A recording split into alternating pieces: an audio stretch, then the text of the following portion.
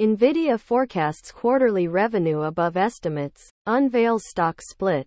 Reuters.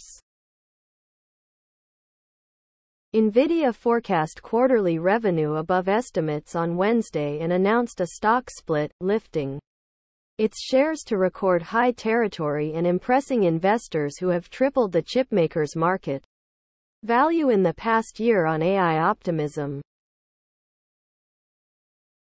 Nvidia shares jumped 5.9% to $1,005 in extended trade, peaking above the psychologically important dollar 1,000 mark and adding about $140 billion in stock market value.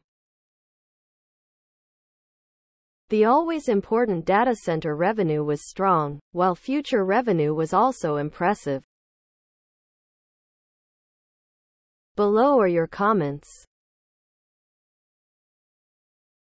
It performed exactly as I thought it would.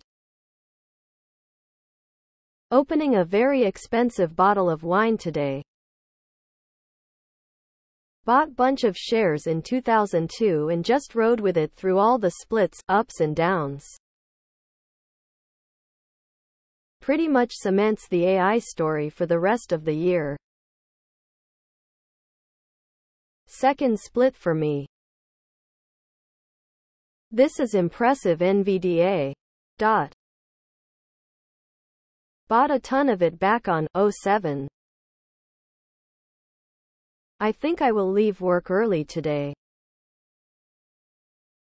Long NVDA. Please subscribe to my channel.